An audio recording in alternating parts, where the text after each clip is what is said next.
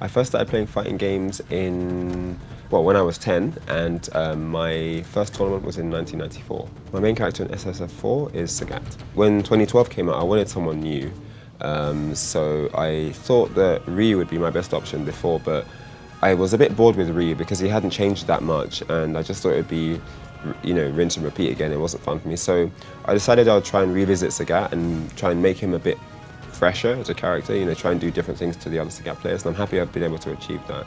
So um, I think that choosing Sagat was one, trying to make the game more interesting for myself, and two, a challenge for myself as well. Can I um, can I make my Sagat better than it was when I used to main him in vanilla? You know, he's weaker now, he has less damage and things like that now.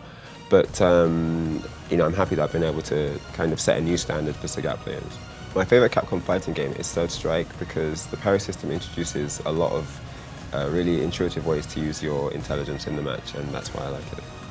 My greatest loss, I would say, was at EVO 2003 when I lost to Kim Bum Min in the grand finals of Tekken Tag tournament.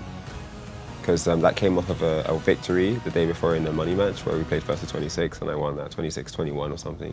Um, and I really felt that I gave away the match uh, in the grand final, so that was that would be my heaviest defeat. He decided to play a full turtle game, which I didn't expect. Um, he was very aggressive during the money match, and he um, played. You know, he tried to kind of run over me at first, but once he realised he couldn't do that because I established firm ground in the footsie war and, and with punishing and stuff, then I think that by the time the tournament came around, he realised that his best chance of beating me was a turtle game, and it actually was. Also, the tournament was two rounds, which we don't play in the UK. We have three rounds, a, a match. So it was only best of three, and it was best of three rounds as well, and so, as, uh, as, well as matches. So that was also quite an uncomfortable setting for me.